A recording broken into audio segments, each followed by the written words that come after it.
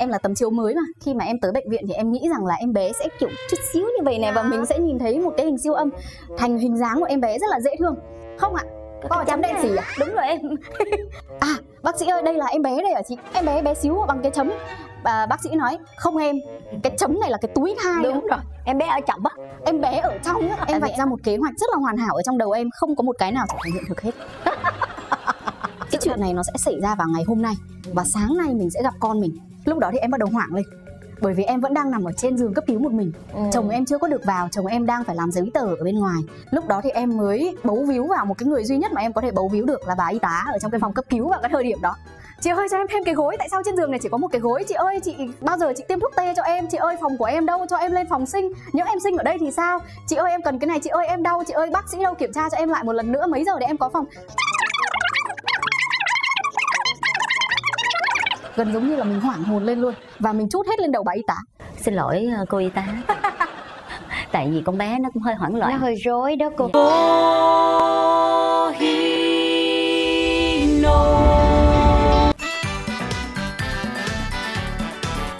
Giang ơi! Ủa cái nết bên đây mời khách mời kỳ vậy Lan? Dạ khách mời tên Giang ơi á chị. Ủa đây đúng Giang ơi nè. Dạ chào chị Tonia và chào, chào chị Ngọc Lan. Chào em rồi em giới thiệu đầy đủ về tên thường gọi của mình cũng như là nick của em của mình nào. Dạ xin kính chào tất cả quý vị khán giả đang xem chương trình ngày hôm nay. À, Em tên là đầy đủ là Trần Lê Thu Giang. Mọi người thường biết à, đến em với cái biệt danh là Giang ơi Tại vì em là Giang của kênh youtube Giang ơi Và đó là cái à, nghệ danh mà mọi người biết đến em nhiều nhất. Sao cái kênh đó mình không đặt Giang gì đó mà là Giang ơi em em không có lý do đâu ạ. Thường thì mọi người hỏi em câu đó khá là nhiều ừ. và mọi người nghĩ rằng sẽ có một cái ý nghĩa gì đó ẩn sâu đằng sau cái tên đó. Thực ra nó không có gì hết chị nghĩ là bên cạnh nhà em có một cái cô hàng xóm mà cái nết y như lan hồi nãy. Giang ơi! Lan ơi! Dạ. Mời nước. À dạ. Em bé là bao nhiêu bao nhiêu tháng tuổi bao nhiêu tuổi rồi em? Em bé Mây vừa mới sinh nhật một tuổi vào tháng trước ạ. Em bé Mây Dạ. À, Dễ thương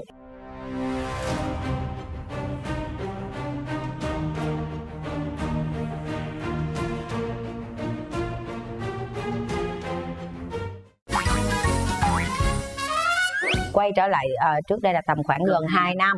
Cái thời khắc mà mình uh, nhận cái tin mình mang thai mình biết là mình đang mang thai em bé rồi nè nó diễn ra như thế nào? Em nói thật là em đã trải qua khá là nhiều những cái tháng mà mình hơi mình cảm thấy muộn muộn chút xíu hoặc là hơi khác khác một chút xíu. Thậm chí mình nhức đầu thôi mình cũng nghĩ là mình đã mang bầu rồi. Thế tại vì mình mong con mà. Thế nhưng mà khi mà mình thử thai ra thì mình không thấy gì thì mình lại cảm thấy hơi thất vọng một chút. Tháng đó thì cái sự mệt mỏi của mình nó đặc biệt khác biệt. Mặc dù em chưa có mang bầu bao giờ thế nhưng mà em có thể cảm nhận được một cái cảm giác mà em chưa từng có trước đây. Và em cảm giác là đúng rồi tháng này tháng này là cái tháng của mình ừ. có có vẻ như là trúng rồi. Thì cái ngày hôm đó uh, chồng em vẫn còn đang ngủ. Em lẳng lặng em dậy em thử que trước. Tại vì cái que thì người ta ghi là đến sáng sớm thì mình mới được thử. Và cái vạch thứ hai nó rất là mờ thôi nó mờ ơi là mờ luôn. Và lúc đó thì em cảm thấy rất là vui và em cho chồng biết đầu tiên. Ừ. à. nó mờ thì nó mờ nhưng mà em mặc định là nó đậm rồi đó.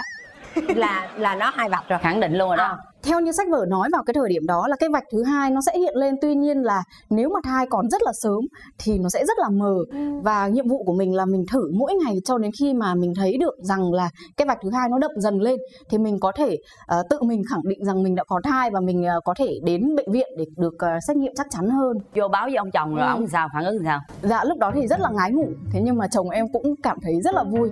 Dạ hai vợ chồng em không có tới bệnh viện liền luôn. Mà em thử các cái que hàng ngày. Hàng ngày em đều ghi là cái que nào của cái ngày nào em dán lại và em ghi lại. Thậm chí là cái miếng giấy đó ngày hôm nay em vẫn còn giữ. Ừ. à, hơi tiếc một chút bởi vì cái vạch đó các chị theo thời gian nó càng ngày càng mờ đi. Ừ. nó không còn rõ như cái lúc đó nữa. Sau khoảng 4 năm hàng mình ghi chép như vậy thì tụi em tới bệnh viện và tụi em uh, gọi là được xác nhận bởi bác sĩ. Ừ. lúc đó thì mới là chính thức là mình niềm vui nó trọn vẹn hơn đúng không? Dạ rồi thế thì phải thông báo với gia đình thôi. Tại vì em là con người của những bất ngờ ấy. Ừ. thế cho nên là em nghĩ rằng mình phải thông báo với bạn bè và gia đình của mình theo một cách nào đó mà làm cho mọi người bất ngờ một chút. Và em sử dụng cái bằng chứng là cái hình mà em chụp ở bệnh viện là cái hình siêu âm đó. Thì lúc mà em là tấm chiếu mới mà khi mà em tới bệnh viện thì em nghĩ rằng là em bé sẽ kiểu chút xíu như vậy này và mình sẽ nhìn thấy một cái hình siêu âm thành hình dáng của em bé rất là dễ thương. Không ạ? Có, có chấm đen xỉ à? Đúng rồi em. À bác sĩ ơi đây là em bé đây hả chị? Em bé bé xíu bằng cái chấm à, bác sĩ nói không em cái chấm này là cái túi thai đúng rồi em bé ở trọng á. Em bé ở trong á tại vì em phát hiện ra khá sớm. Thế cho nên là em phải cầm cái đậu đen đó để em đi cho mọi người xem. Cầm cái đậu đen đó để em đi cho mọi người xem. Thế nhưng mà lúc đó thì em cũng rất là hồi hộp tại vì có cái chấm bé xíu à em không biết là mọi người liệu có nhận ra rằng đó là cái thông báo mang thai của em hay không hay là nhiều khi bạn bè mà ngây thơ hay là vô tư quá có thể là họ sẽ nhìn thấy cái tấm hình đó và có thể họ sẽ hỏi lại là nhìn cái đau dạ dày hay gì? Đúng rồi. À, may mắn là gia đình và bạn bè em là những cái người mà khá là nhanh nhạy trong cái việc mà nắm bắt các cái sự ngạc nhiên. Mọi người đã reo lên và mọi người đã uh, chúc mừng ngay lập tức thế thì sau đó thì cái hành trình để mà từ cái hạt bút chì nhỏ xíu nè mà đến con thành hình thành dạng nó diễn ra như thế nào? Bây giờ suy nghĩ lại em thấy em nghén giống như mọi người. Thế nhưng mà lúc đó em cảm thấy em là người nghén nhất quả đất. Em thấy em dữ dội lắm rồi. Em thấy em say sóng à. em sợ nhất là bị nôn ói. Ừ. cái việc đó là cái việc mà em sợ nhất bởi vì mỗi khi mà em bị nôn ói đó thì cảm giác giống như là có ai mà đang người ta đang vắt cái dạ dày ừ. vắt cái ruột của mình giống như là vắt quần áo vậy đâu người ta vắt người ta vặn xoắn lại như vậy mình cảm giác là mình mình ói ra một lúc nữa là ra cả cái bộ lòng của mình luôn. Ừ. cho nên là khi mà lơ lửng cả ngày say sóng cả ngày như vậy thì em cảm thấy bị sốc. Bởi vì trước đó em là một người với cái lịch trình công việc khá là kín khá là bận rộn. Và khi mà em ngén như vậy thì em phải cắt hết tất cả mọi công việc. Em phải làm việc với các bên để em có thể à, hủy hợp đồng này. Hoãn này với những bên mà không thể chờ em hết ngén được thì phải hủy hợp đồng. Và mọi người cũng cảm thấy khá là ngạc nhiên. Còn thậm chí là có những bạn mà các bạn ấy chưa có con bao giờ đó các bạn hỏi là ủa ngén là giữ như vậy hả ta? Phải đến mức hủy hợp đồng hả ta?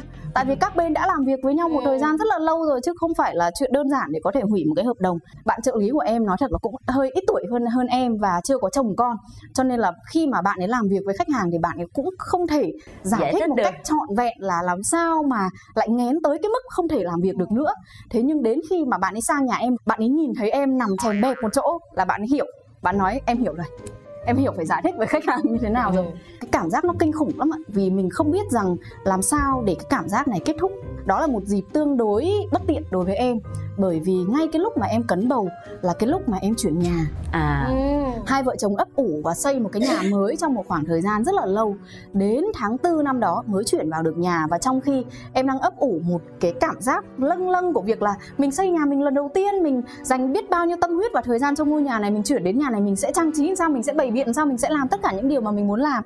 Nhưng không đến nơi một cái em chỉ thấy ôi mùi gạch mùi gỗ ừ. mùi sơn.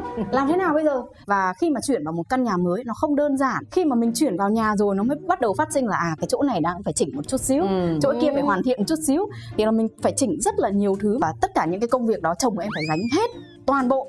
Em không làm được bất cứ một việc gì nữa. Và thậm chí là em không được ngủ ở trong phòng ngủ tại vì lúc đó chưa có giường. Hai vợ chồng còn chưa mua giường cho nên là em phải ngủ ở dưới sofa bật máy lạnh. Lạnh hết cỡ có thể tại vì cái người phụ nữ mang thai ấy, nóng. nóng ơi là nóng cái mồ hôi của em nhễ nhại. Thế nhưng mà khi em cảm nhận được gió máy lạnh à, thổi vào người em là em sẽ ớn lạnh toàn thân. Em sẽ run cầm cập. Em đắp chăn thế nhưng mà em bật đến 16 17 độ. Và em nằm rên như vậy và em cố gắng ngủ chị. Em bật tivi lên em coi những cái chương trình nhàm chán nhất để em cố gắng em ngủ cho qua cái ngày hôm đó. Bởi vậy cho nên nói rằng cái việc mà đi sinh cũng rất là đáng sợ này khá là khó khăn để mình qua được ba cái tháng cuối nặng nề đó. Thế nhưng mà để so sánh tất cả các giai đoạn với nhau thì em sợ nhất vẫn là giai đoạn nghén. Ba tháng đầu. 3 tháng đầu. Ừ. lúc đó mình chưa thích nghi được với một cái ờ, cơ thể mới ở trong con người của mình. Em cảm thấy choáng váng đến mức là em muốn tung hô tất cả. Em muốn bán căn nhà này đi. Hủy hợp đồng thuê nhà cũ của cái người thuê lúc đó và em dọn về nhà cũ ở. Em không thiết tha bất cứ một cái gì trên cuộc đời này nữa hết. Con thì lại muốn đến sớm hơn để cùng mẹ trang trí nhà thôi mà. Chứ con cũng đâu có muốn gì đâu. Nhưng mà rồi sao rồi rồi tất cả mọi gánh vác là chồng mình sẽ phải ôm đồm cho mình hết. Dạ chồng em mất 6 kg thịt. Chồng em mất 6 kg thịt con số 6 kg là con số em không bao giờ quên. Nói thật là chồng em thì không phải là một người hơi bụ bẫm mà ừ. là một cái người tương đối là à, mảnh rẻ. Thế cho nên là khi mà anh ấy mất 6 kg thịt cái sự khác biệt nó lớn lắm. Bây giờ khi mà mình nhìn lại rồi ông ấy có đủ cái lượng thịt mà ông mất rồi. Thì mình mới cảm thấy là 6 ký thịt đó nó là cả một cái vấn đề rất là lớn và đó cả là cái mặt tiền của người ta đó. Cả cái mặt tiền của người ta. Em nói thật em cũng là một người hơi sách vở một chút. Lúc Ừ. đầu em cũng nghiên cứu là mình phải ăn gì uống sao mình sẽ ăn nhiều rau nè mình sẽ tập thể dục nhẹ nhàng nè. Em vạch ra một kế hoạch rất là hoàn hảo ở trong đầu em không có một cái nào trở thành hiện thực hết. Sự thật là em nằm phè một chỗ và em ăn cơm em ăn ngọt không à nói thật là em có một người hàng xóm rất là thích nấu ăn và bạn ấy nấu cho em rất là nhiều món cho nên là trong cái khoảng thời gian giãn cách thì em ăn uống tương đối là đầy đủ nhờ hàng xóm nhà em gọi là bạn ấy nuôi bầu em đấy ạ nuôi bầu cả hai vợ chồng em. Tuy nhiên là một bữa em ăn ba chén cơm này rồi em ăn bao nhiêu là các món mà em rất là lười ăn rau. Bởi vậy khi mà con em đến cái tuổi ăn dặm nó cũng lười ăn rau em không có oán trách. Em biết lý do là tại sao. À, nó cũng ảnh hưởng đến à, một chút đến cái cân nặng của mình em tăng cân hơi nhiều một chút. So sánh với em bé em tăng tổng cộng là 15 kg ừ. tức là một cái ngưỡng gọi là tối đa ở cái mức cân Bình thường. mà gốc của em thì rất là nặng nề. Mình đi cầu thang mình cũng cảm thấy khó này mình làm gì mình cũng cảm thấy khó cho nên là mình cũng không tập thể dục luôn. Coi như là mọi kế hoạch nó đều hoàn hảo khi nó còn nằm trên giấy. Đúng rồi đúng Đó. rồi. Rồi cái ngày hôm đó dấu hiệu như thế nào mà hai vợ chồng phải xách nhau đi vào trong bệnh viện để đẻ? Cũng dở dang lắm chị tại vì một lần nữa kế hoạch của em thì luôn luôn hoàn hảo ở trên giấy. Vì em vạch ra rằng cái ngày dự sinh là ngày đó. Em lùi lại 2 tuần em và các bạn à, trợ lý của em và khách hàng của em cần phải biết rằng cái ngày đó là cái ngày mà em nghỉ sinh. Tức là không có một công việc nào phát sinh sau cái ngày đó nữa. Nhưng không con em nó quyết định ra sớm. Và cái ngày hôm đó thì là một ngày mà em hoạt động thể lực tương đối nhiều. Hai vợ chồng em đi dạo vòng vòng một chút. Buổi tối hôm đó thì em cảm thấy hơi mệt mỏi chân em tắm lại còn rất là lâu nữa, cho nên là khi mà em đứng tắm với một cái bụng bầu rất là lớn, thì cái chân em nó mỏi thêm. Và em suy nghĩ rằng là tốt nhất là mình không nên đi bộ nhiều như vậy vào cái tháng cuối. Em nghĩ như vậy và em đi ngủ ngủ đến 2 giờ sáng thì cái bụng em nó thức em dậy. Và em cảm thấy chết rồi, tại sao mình lại dậy vào lúc 2 giờ sáng? Tại sao những cơn đau nó lại dồn dập hơn? Con ơi, đừng ra vào lúc này vì mẹ còn phải làm việc thêm một tuần nữa mới xong. Không cần phải hai tuần, con ở cho mẹ thêm một tuần nữa thôi. Cho mẹ Ừ. xong việc nữa cái mình đi sinh cho nó thư thả nó con. Không em bé của em không có muốn như vậy. Ừ. em đau từ 2 giờ sáng cho đến khoảng 2 rưỡi thì em thấy thôi rồi. Và em gói ghém đồ vào trong vali. Lúc đó thì cuống lên. Em tống luôn vali nhỏ vào vali lớn. Và nhét thêm bao nhiêu là đồ vào trong vali lớn. Lúc đó em mới cảm thấy yên tâm là không biết là mình đã mang đủ đồ chưa liệu có thiếu gì không? Hai vợ chồng em lái xe đến bệnh viện thì cũng lại là rất là may mắn là vào lúc 2 giờ sáng thì không có kẹt xe và mọi người đẩy em vào phòng cấp cứu. Nằm ở trên giường cấp cứu thì em vẫn còn suy nghĩ thôi chết rồi tốn tiền quá. Bởi vì mình nằm ở khu cấp cứu là tiền cấp cứu này. Mình nằm vào lúc 3 giờ sáng là cái tiền ngoài giờ nữa này. Rồi bao nhiêu là tiền dịch vụ nữa? Bởi vì chắc là báo động giả thôi. Cho Ừ. đến khi mà bác sĩ trực vào kiểm tra cho em và nói là mở hai phân rồi. Sáng nay mình sinh nha Giang. Thì tới cái thời điểm đó mới là cái giây phút mà em biết rằng là cái chuyện này nó sẽ xảy ra vào ngày hôm nay. Và sáng nay mình sẽ gặp con mình. Lúc đó thì em bắt đầu hoảng lên. Bởi vì em vẫn đang nằm ở trên giường cấp cứu một mình. Ừ. chồng em chưa có được vào chồng em đang phải làm giấy tờ ở bên ngoài. Lúc đó thì em mới bấu víu vào một cái người duy nhất mà em có thể bấu víu được là bà y tá ở trong cái phòng cấp cứu vào cái thời điểm đó chị ơi, cho em thêm cái gối. Tại sao trên giường này chỉ có một cái gối? Chị ơi, chị bao giờ chị tiêm thuốc tê cho em? Chị ơi, phòng của em đâu? Cho em lên phòng sinh. Nếu em sinh ở đây thì sao? Chị ơi, em cần cái này. Chị ơi, em đau. Chị ơi, bác sĩ đâu kiểm tra cho em lại một lần nữa? Mấy giờ để em có phòng? Gần giống như là mình hoảng hồn lên luôn. Và mình chút hết lên đầu bà y tá. Xin lỗi ờ, cô y tá tại vì con bé nó cũng hơi hoảng nó loạn hơi rối đó cô. Dạ. may mắn rằng à, bà y tá cũng rất là hiểu cho nỗi lòng của em là một bà mẹ mà có lẽ là chị y tá chị nhìn em là chị biết lần đầu đi sinh rồi. Rất là cuống thì à, may mắn là đẩy lên được đến phòng sinh. Thì em vẫn có cái sức để em tự trèo lên à, bàn này tự thay đồ này và nằm lên trên bàn ổn định. Tuy nhiên đến một cái lúc đó thì cái phim kinh dị tiếp theo xảy ra. Em không biết làm sao cái khu phòng sinh ta không đóng cửa chị các cửa đều mở. Ừ. chỉ có một tấm rèm che sơ lại cái phòng thôi.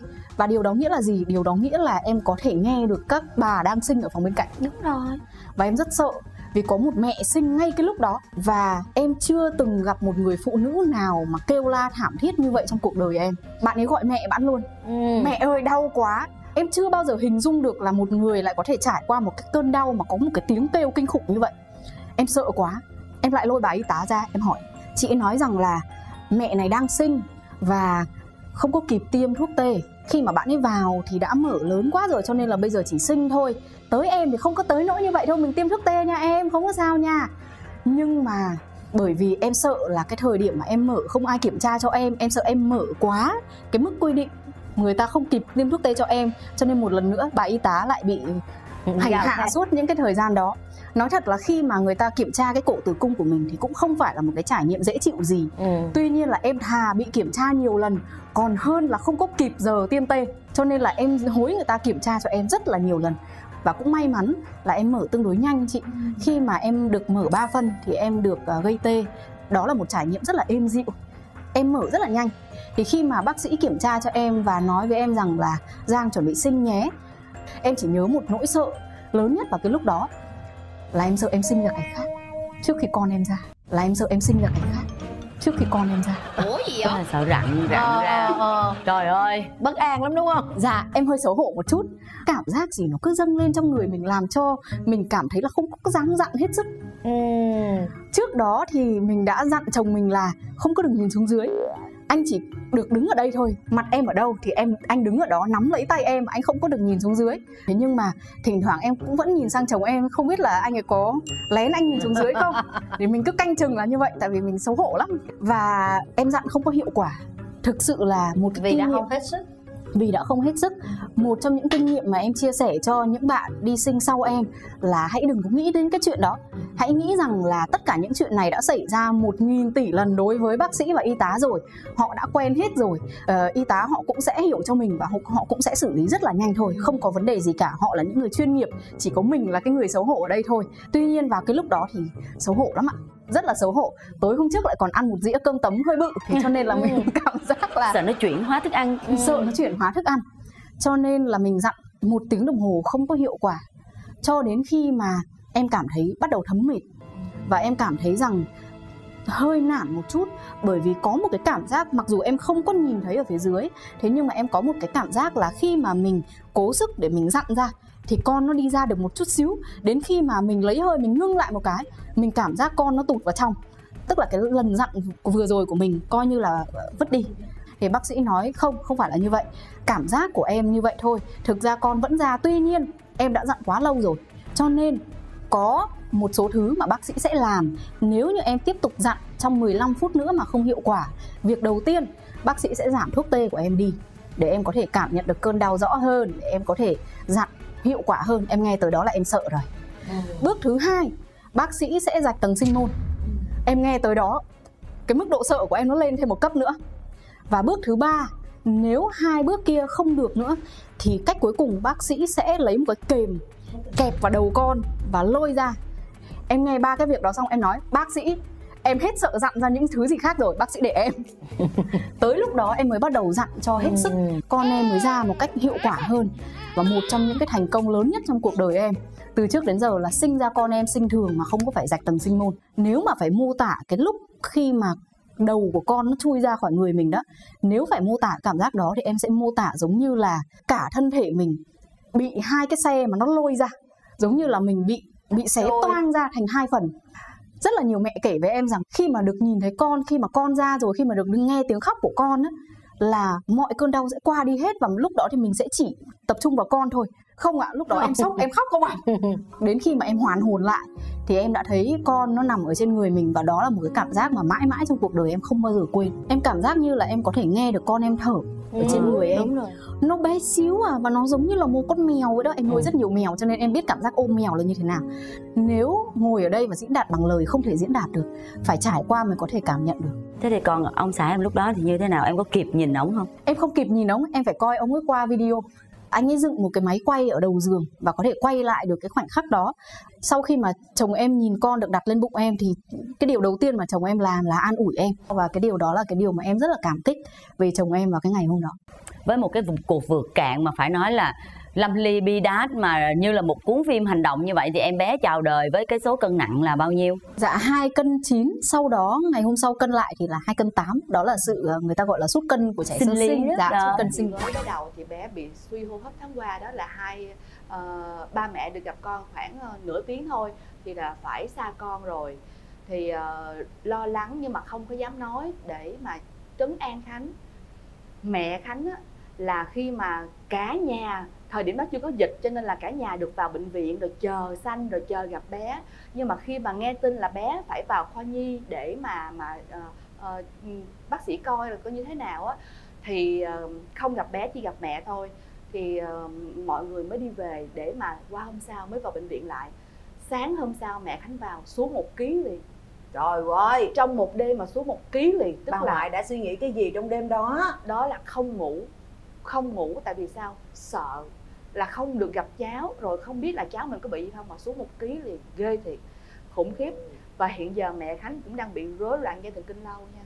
Là bởi vì sao? Cái gì cũng lo cái thành bệnh đó là hai mẹ con một bệnh như nhau nhưng mà khánh bây giờ khánh trấn an mẹ là mẹ phải mẹ phải mạnh mẽ hơn mẹ phải tức, tức là thể lực mình phải tập mà trí lực mình cũng phải tập tức là cái trí lực mình mà không tập thể dục là nó sẽ yếu nó sẽ không có sự mạnh mẽ để mà mình có thể uh, tiếp nhận những cái thông tin mà mình nghĩ rằng là mình không vượt qua được.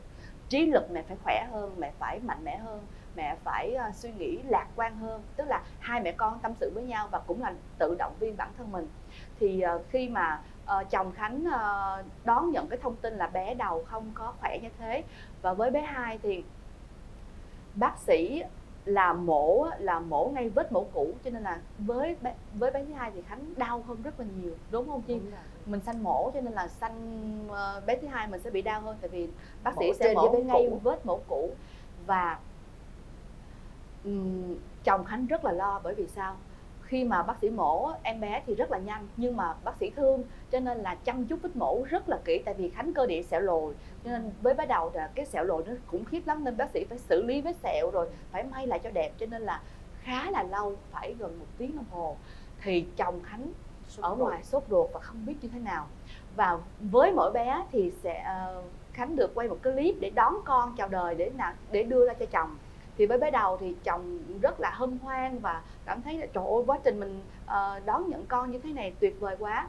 Nhưng mà với bé thứ hai thì chồng khánh chịu không nổi tại vì sao? Nghĩ rằng là tại sao vợ mình lại ờ, đau đớn như thế này và vợ mình tại sao lại phải ờ, chịu những cái cảnh như thế này? Cho nên là khóc rồi rồi lo lắng rồi ờ, tâm sự với khánh là ba lo lắm tại vì mẹ ở trong đó lâu quá so với lần đầu mẹ ở lâu quá ba không biết như thế nào. Cho nên là rất là lo. Và ờ, khi mà ờ, vào phòng mà hồi sức á, thì thấy là nước mắt có hoen mi rồi có mắt đỏ rồi rồi ôm rồi cảm thấy là chia sẻ và rất là xúc động. Thì đó là những cái giây phút mà hai vợ chồng trải qua khi mà đón nhận hai con chào đời. Trời ơi tôi cũng nghi lắm nghi lắm còn khải cũng có khóc. Không nghi lắm. Trong khi vợ không có khóc. Chị rồi thế thì cái lúc mà mình à, về nhà nè bây giờ tới hành trình mà chăm con nè. Dạ. Rồi chị chị làm cái gì? Chị làm được cái gì? Tại sao em lại hỏi cái câu đó? Em nghi ngờ là- tại vì hồi đầu á là mọi là chị khánh đã nói trước rồi nói mãi tới bây giờ mọi người mới công nhận tôi là một bà mẹ bỉm sữa. Đúng rồi phải có cái gì đó bên trong nó mới phóng chiếu Đúng. ra bên ngoài như vậy. dạ thì khánh là mẹ thôi. Khánh à, khánh chăm con khánh à, thức đêm à, vắt sữa. Tại vì sao À, bé không có ngậm đúng cái ti á cho nên là không có bú được. Với lại gì nào Khánh không biết là các bà mẹ khác cho con bú trong thời gian bao lâu nhưng mà với với con Khánh á, thì là bú một lần 45 phút lần thì nó khá là lâu cho nên là một ngồi mỗi lưng mà ngay cái vết, mình ngồi mà cái vết mổ nó đau nữa. Cho nên là ờ, Khánh mới quyết định là vắt sữa cho con để mà con bú thì hai mẹ con sẽ khỏe hơn.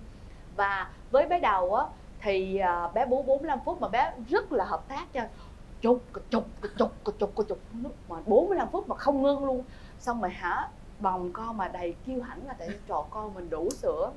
Kêu hãnh và càng ngày nó càng ốm.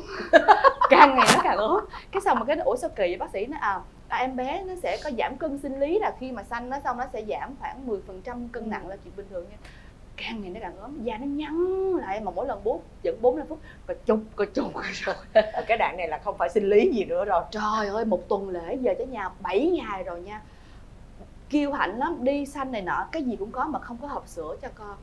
Thế là vẫn kêu hãnh là và vẫn là nuôi con bằng sữa, Sữa mẹ. mẹ. nuôi con bằng sữa mẹ. Xong mà càng càng nhăn nhăn nhăn nhăn. Ủa sao là mọi người nó nó thiếu sữa đó khánh ơi con ơi mua sữa cho con cho con con bú dặm thêm đi. Không sữa mẹ vẫn bú đầy đủ mà. Xong mà cái hả càng ngày bú nó con bú nó mệt thấy rõ mệt nó Đúng mỗi rồi. miệng mệt thiệt nhưng mà mình cũng đau. Mình vậy đau là mà- thực ra là thằng nhỏ nó lao động rất miệt mài và kiên trì. Đúng vậy. Nó cà chục cà sản chục. phẩm không có nhiều. Nó cà chục cà chục Đúng là vậy. bởi vì nó đang cày bừa để Đúng nó vậy. đi tìm kiếm chất dinh dưỡng. Đúng vậy Mà ngậm sai khớp biết. đúng không? Không phải ổng ngậm đúng khớp mà khánh không có sữa mà khánh không biết. Càng ngày càng đau càng ngày bú. Sao ủa sao mỗi lần bú mà tới giờ bú Đau. sợ lắm. Ờ. nó giống như là ai hút máu từ trong tim mình hút ra mà mình không biết mình vẫn cắn răng. Mà con càng nuốt là nước mắt nó càng chảy. Mẹ khóc luôn mà. Em khóc đẻ không khóc nhưng mà con bú khóc nha. Ừ. chảy nước mắt ràng ruột còn cái clip đó luôn á. Không biết còn không nhưng mà không biết mấy nào. Tại sợ chương trình kêu đưa đó. Tại vì nó trước luôn cái sao nước mắt chảy dài mà hả? Thằng nhỏ càng ngày càng ốm mà hả? Nó nút quá trời nút luôn. Không có một miếng sữa nào mà không biết nha. Rồi nó nhăn vậy nè. Tới thời điểm mà trời nhưng mà quan anh không khóc hả? Khi Anh- anh đói anh mà. rất là dễ chịu. Thật sự con khánh rất dễ chịu và rất hợp tác. Giống như con ta không có sữa là khóc la làng để cho ba mẹ biết không chục chục chục chục rất cam chịu 45 với cuộc đời. Dạ đúng rồi 45 phút cứ mỗi cử 45 không phút. phải đâu không phải nó không khóc đâu nó mệt quá Dạ. mà nó khóc không nổi. Mỏi miệng quá nó không khóc nổi mà nó vậy vẫn cứ nút chục chục chục thì có nghĩa là sau 45 phút thì quá mệt để có thể khóc. Trời thấy thương quá trời mà không biết rồi nha. cuối cùng khi nào chị mới biết? Khi mà hả đau quá bú đau quá sợ quá và khi mà nó đói quá bắt đầu nó mới khóc. Nó khóc lúc mà 3 giờ đêm mà không có một hộp sữa nào trong nhà mà giờ đó ai bán sữa trời ơi ráng dỗ dỗ dỗ ráng cho con tới đến 4 giờ mấy gần 5 giờ sáng chồng chạy đi ra chỗ mà bán sữa đêm á để mà mua cho con hộp sữa mà thằng nhỏ bú sữa mà nó mặt nó tươi. Thằng nhỏ lúc này mới cảm nhận thì ra đây là cảm giác được no bụng. Trời ơi thấy tội nghiệp khủng khiếp luôn á. 7 ngày trời 7 ngày trời bị bỏ đói mà không biết. Rồi là sau đó chị kích sữa kiểu gì? Sau đó thì bắt đầu mới mới mới mới ừ, tìm hiểu và uống rồi ờ, uống ờ, uống nước nhiều rồi uống gì rồi lợi sữa gì đó những cái loại lợi sữa trà lợi sữa rồi ờ, ăn mặn hơn rồi để cho nguồn sữa về gì đó.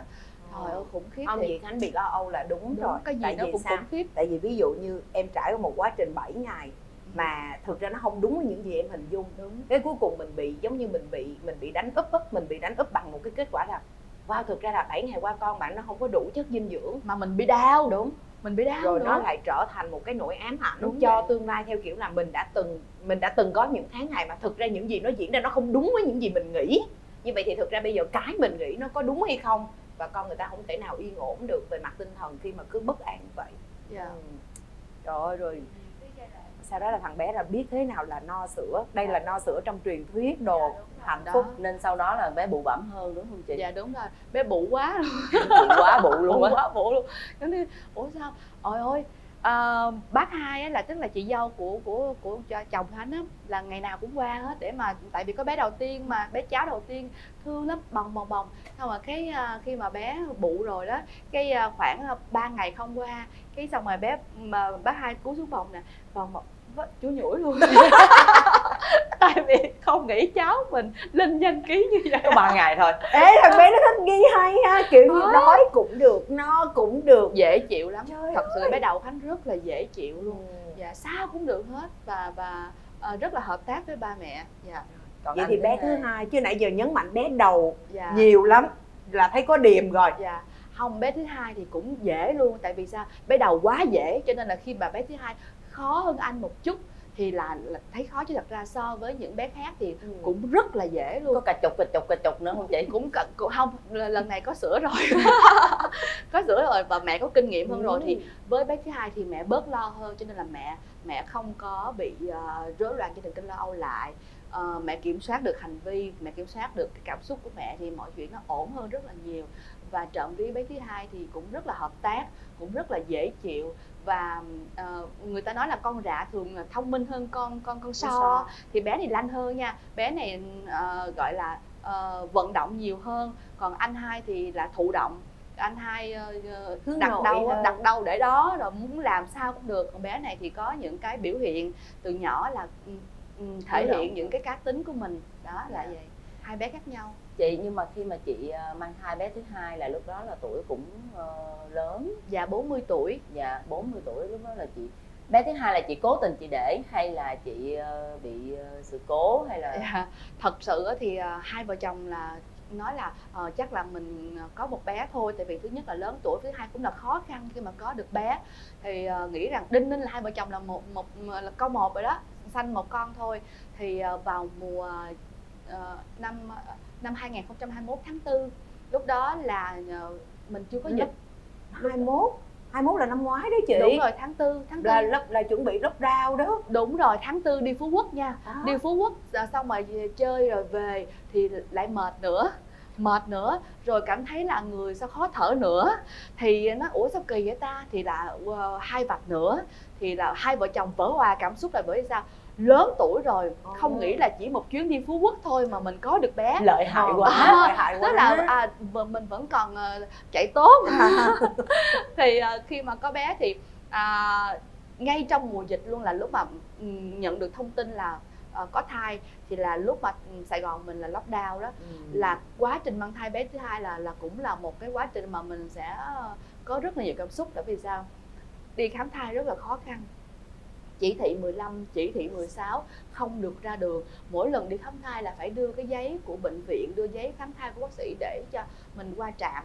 Thì uh, chích vaccine thì mình cũng lại lo nữa là không biết là ừ, mẹ không chích thì không được mà tại vì đang thời điểm rất là căng thẳng mà không chích thì ảnh hưởng đến sức khỏe của mẹ. Rồi khi chích vào ảnh hưởng đến sức khỏe của con thì sao? Lo lắng đủ thứ hết rồi ờ, đi khám thai cũng khó khăn rồi thèm ăn gì cũng không ăn được tại vì đâu có ai bán gì đâu ăn. Rồi ờ, mà cũng trộm vía là con cũng cũng rất là dễ chịu cũng biết được hoàn cảnh hay sao á. Cũng không có ờ, đòi ăn nhiều cũng không có làm cho mẹ thèm ăn nhiều rồi cũng không có làm cho mẹ mệt mỏi nhiều. Ờ, mang thai bé thứ hai thì khánh cảm giác là khánh khỏe hơn. Ờ, cũng bị ợ nóng nhưng mà cái cường độ nó nó ít hơn. Nhưng mà những cái tháng cuối thai kỳ đều vẫn thức trắng ngắm chồng nữa đó. Là hai bé bé nào cũng vậy hết. Hai giai đoạn nó khác nhau không chị? Dạ ờ, cũng ờ, khác nhau ở chỗ là bé thứ hai đó cái triệu chứng mà hành á làm cho mình cảm giác rằng là trở đầu con rồi mình sẽ đẻ bé gái. Tại vì bé đầu mình không có ngán cái chuyện mà ờ, mùi tỏi phi mùi hành phi rồi mùi xà bông hay mùi nước giặt gì mình cũng ngửi được bình thường. Nhưng bé thứ hai mới ngán là ờ, mùi tỏi cái là mình chạy mình mất ói rồi mùi nước giặt á, nó bay ra là mình cảm thấy mình khó chịu thì ờ, nhà mới nói là chắc là là Đổi bé gái con. rồi đã đổi đầu con trở đầu con rồi thì ờ, đi siêu âm thì con trai mọi người lại quên rằng đó chỉ là gia tăng thêm triệu chứng thôi chứ nó không có đỡ đầu con thì giống như mọi người nghĩ rằng cái triệu chứng hành nó khác thì chắc là là là là ờ, Đổi bé đời. khác nha Ừ. nhưng mà ờ, với cái chuyện là con gái con trai thì thật sự đối với khánh không quan trọng tại vì có con là niềm hạnh phúc rồi Ờ, đó là một cái cái hạnh phúc thiêng liêng mà không có cái điều gì mà mình tả được hết. Ờ, bé nào cũng vậy hết. Thì uh, và khánh lại thấy là bây giờ sanh con một bề lại khỏe hơn. Là tức là hai bé có thể chơi với nhau hai bé trai cùng chơi với nhau rồi ở chung với nhau một phòng nữa. Cho nên là khánh thấy cái điều đó nó Chị- cũng rất là thú vị. Chị đợi khoảng ha, mười mấy năm nữa khoảng 11, 12 năm nữa dạ. cái chị đi mua đồ đó một kiện một size ba cái. Vậy hả? À. Khỏe lắm chị. Dạ mình dạy cũng một kiểu luôn. Một kiểu dạy ba đứa đó chị. Ba phiên bản khác nhau nhưng mà một nội dung nó cũng đỡ chứ đúng, đúng không? rồi. Đó lợi lắm. Dạ. Ừ. rồi bây giờ mình hỏi tới cái um, bút Giờ lịch tới đi. nha, tới bút lịch hả? Ừ tới bút lịch bút chăm con ra rồi. đó, bút phát ra phú quốc được đứa thứ hai. Bất ngờ lắm luôn á thiệt. Tại không nghĩ là mình 40 tuổi rồi mà lúc đó mang thai trong kiêu hãnh và tự hào phải không Dạ, chị? kiểu rồi, gì đó. kiểu chứ hai chị đứa thứ hai chị có khoe không hay là chị vẫn giấu? À, vẫn không lúc đó thì thì nói nói với cả nhà nói với cả nhà. Và trộm vía thì mọi chuyện ổn. Dạ. Dạ. Tại vì đứa đầu lo quá tại vì mình bị một sự cố lần đầu rồi cái tự nhiên cái gì mình cũng sợ hết cái gì mình cũng không dám chia sẻ tại vì nghe nói trời chưa tới 3 tháng mà chia sẻ vậy là sẽ có sự cố. Mà gặp sự cố thì cũng như là có sự trùng hợp đó, thì mình không có dám làm khác đi. Yeah. rồi bây giờ từ khi sanh bé thứ hai là hai anh chị bút lịch lại chưa? Rồi chứ. Rồi hả? Rồi chứ cái tự hào chứ sao? cái kiểu trả lời rồi chứ mà theo kiểu giống như em không biết gì luôn á à, kiểu trời ơi em. Em nghi thơ sợ luôn bây á. giờ bé 7 tháng rồi mà. À vậy hả? Trời tại vì đã từng có những người mẹ ngồi ở đây Ừm, mà sau khi con 7 tuổi luôn vẫn chưa bút lịch lại. Cái thì dĩ nhiên đó là một vấn đề đặc biệt. Ờ, Ừ. cái đó là hy hữu à. Đó vậy thì bây giờ 7 tháng mà rồi chứ thì có nghĩa là cái rồi đó là vào tháng thứ mấy chị? Ờ để coi nhớ coi tại vì cũng bút lịch khá là lâu rồi. Chắc hai tháng. Sinh mổ mà. Sinh mổ. sinh mổ thì chị để ý cái vết ờ, thương ờ, phẫu thuật thôi. Dạ cũng ờ, chắc là phải hơn 2 tháng. Ừ. hơn 2 tháng thì thì bút lịch lại. Dạ. Ai ai đặt lịch chị? Dạ đương nhiên là, là chồng mình rồi. Ừ. Dạ. mà mình chờ cái điều đó cũng khá lâu. Nha đương nhiên là chồng phải bút lịch nhưng mà mình chờ chồng bút lịch dạ đó dạ. Là cái là cái ờ, phòng rất là trống nhưng mà không ai bút lịch thì rất là mong cái sự bút lịch chứ. Rồi bây giờ chị với anh Khải có tính sanh thêm bạn nào nữa dạ không? khánh đã triệt sản rồi ạ dạ thường á thì người ta nói là ờ, triệt sản là thường là nam giới triệt sản gì đó nhưng mà thật ra khánh có được thông tin là triệt sản nữ sẽ an toàn hơn cho cả hai vợ chồng. Ừ. tại vì sao? Khi mà triệt sản nam á, thì sẽ bị thắt thì cái kiểu mà người ta cảm thấy không bình thường không thoải mái thì sẽ thường ảnh hưởng đến tâm lý. Ờ, làm cho chồng mình sẽ ờ, khó chịu sẽ không được thoải mái. Còn với triệt sản nữ là gì? Là ừ, với sanh mổ thì người ta sẽ hợp, sẽ kết hợp được cái chuyện triệt sản nữ luôn là sẽ nhắc nhẹ hai cái đầu vòi của đầu vòi tử cung á là cái đường mà dẫn tinh trùng vào tử cung để thụ thai. Thì khi mà mình nhấp như thế rồi thì nó sẽ không có đường vào nữa. Thì tinh trùng nó sẽ không vào tử cung thì sẽ không gặp trứng được thì sẽ không thụ thai. Chỉ đơn giản vậy thôi không ảnh hưởng đến nội tiết tố của nữ không ảnh hưởng đến hormone không ảnh hưởng đến sức khỏe gì hết. Thì khánh thấy là cái điều đó nó làm cho hai vợ chồng rất là thoải mái và bản thân mình cũng cảm thấy rất là thoải mái luôn. Có nghĩa là nếu như vậy thì đây là một cái quyết định mang tính chủ động từ chị Khánh dạ cả Vậy- hai vợ chồng vậy thì cái dạ. lúc mà mình nghĩ đến cái giải pháp này Dạ. thì cái lý do để mà đưa đến cái quyết định đó là những lý do gì? Ờ, thứ nhất là khánh lớn tuổi rồi và khánh khánh thấy hai bé là là đủ đẹp cho cả hai vợ chồng rồi bên cạnh đó thì chồng khánh nói câu này nè "Ừm, ba không muốn mày sanh nhiều tại vì sao sanh nhiều sẽ ảnh hưởng đến sức khỏe ảnh hưởng đến nhan sắc ảnh hưởng đến vẻ tươi trẻ thì ờ, với ờ, với ba như vậy là hai con là đủ rồi uh, không không có con gái cũng được nữa. Hai đứa là đủ đẹp rồi. Và quan trọng là bây giờ mình dành thời gian sức khỏe cho con. Rồi uh, bên cạnh đó thì uh, cái việc mà ngừa thai á, làm cho mình bị cảm thấy là không thoải mái. Tại vì mình sẽ không biết là nó có an toàn hay không. Uh, khánh nghĩ đến việc là có uh, đặt vòng nè. Rồi khánh nghĩ đến việc là cấy cấy cái que vào để mà ngừa thai gì đó. Thì những- cái phương pháp đó thì chồng nói là ờ, mình nên hỏi bác sĩ đi có một cái phương pháp nào ngừa thai mà an toàn và thoải mái hay không? Thì bác sĩ mới tư vấn cho khánh là nên ờ, triệt sản nữ thì sẽ thoải mái và an toàn nhất. Dạ. Hay quá. Đây cũng là một thông tin bổ ích cho các Ừ. ờ, mẹ bỉm sữa. Dạ. Dạ, tại vì em cũng mới nghe cái cái cái cái, cái sản biện nữ. pháp này. Dạ, Dạ. em mới nghe lần đầu tiên. Dạ. Và chị kể rất là chi tiết về cái cái quá trình đó à, cảm ơn chị rất là nhiều khi mà chị đến mang một cái câu chuyện ờ, vừa vui nè mà cũng có một cái sự chia sẻ rất là hồi hộp và lo âu nữa. Dạ. Nhưng mà bên cạnh đó thì em em và chắc chắn là các bạn khán giả sẽ biết thêm được rất là nhiều cái thông tin để ai mà đang rơi vào những trường hợp mà bị lo âu nè hoặc là à, ai mà đang muốn ờ, ngừa thai không muốn sanh em bé nữa thì cũng có một cái biện pháp. Cảm ơn chị nhiều lắm. Và bây giờ thì à, những cái giây phút à, ngắn ngủi để mà chị à, nhắn gửi đến cho ai đó thì chị à, thoải mái. Đây là máy của chị? À nhắn gửi cho ờ, ấy ơi. Dạ ờ, chào ba. Thì ngày hôm nay mẹ đến với chương trình ờ, chat với mẹ bỉm sữa. Thì ờ, chia sẻ với chương trình cũng như chia sẻ với Ngọc Lan và Tô Nhi A những cái ờ, trải nghiệm mà ờ, mẹ đã trải qua để đón hai con chào đời. Và rất là cảm ơn ba người đã luôn đồng hành cùng với mẹ ờ, đã luôn chia sẻ yêu thương và quan tâm để mà chúng ta có được những giây phút thật là thoải mái vui vẻ và hạnh phúc nhất có thể trong gia đình nhỏ của mình. Chúng ta sẽ luôn cố gắng và ờ, duy trì cái ờ, niềm hạnh phúc này ba nhé. Cảm ơn ba rất là nhiều. Cảm ơn chị. Ừ. chương trình có một số phần quà dành tặng cho chị. Dạ cảm ơn chương trình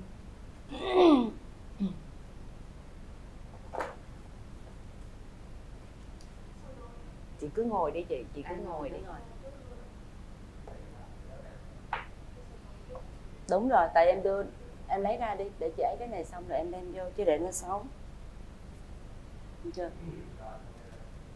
Đây là bộ son Yurika một thương hiệu son đến từ Nhật Bản với rất là nhiều màu son cá tính gửi tặng cho chị. Cảm ơn em cảm ơn chương trình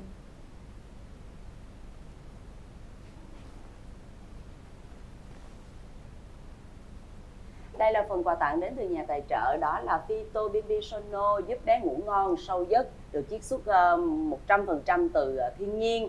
Nó còn nhiều cái nữa nhưng mà em phải để là dài dài để ghi hình để có gì em đọc voi sao. Ok. em cảm ơn chị. Ok cảm ơn em cảm ơn chương trình. Dạ. Còn đây là một chiếc ba lô Vito Bimbi cũng của nhà tài trợ gửi tặng cho em bé nhà mình luôn. À chị có hai bé lận chương trình ơi hai bé lận nha. Chị ơi em bé kia chưa đi học? Rồi sẽ đi học. Dạ chị quay lại lần nữa. Cảm ơn chị cảm ơn chị tô nha. Xin được cảm ơn quý vị và các bạn đã theo dõi chương trình. Quý vị đừng quên khung giờ phát sóng của chúng tôi 21 giờ 15 phút trên kênh HTV9 vào thứ tư hàng tuần. Và chương trình sẽ được phát lại ngay trong ngày vào lúc 21 giờ 30 trên kênh YouTube MCV hoặc là cổng thông tin Netlus. Và cũng không quên gửi lời cảm ơn đến nhãn hàng Vito Bimbi Sono Siro giúp bé ngủ ngon, sâu giấc tự nhiên, nhập khẩu nguyên hộp từ Italy đã đồng hành cùng chương trình. Bây giờ thì xin phép được chào tạm biệt và hẹn gặp lại. Rồi, cảm ơn. ok